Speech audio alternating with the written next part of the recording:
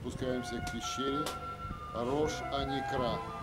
Рош – голова, Аникра от слова короа. Короа от слова разорвать, разорванные пещеры.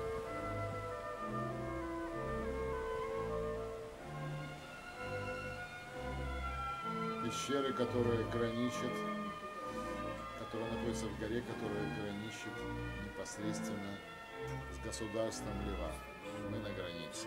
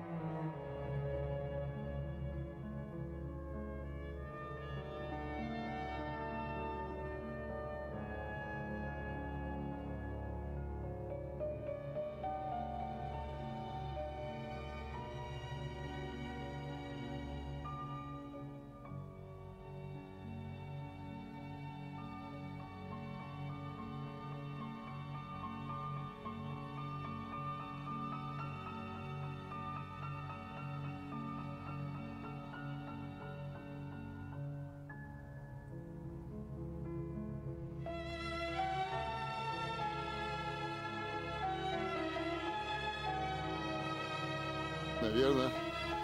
Вот надпись. До Иерусалима 205 километров, а до Бейрута, до Бейрута 120. А вот за этими воротами уже нейтральная полоса и Ливан. Другое государство.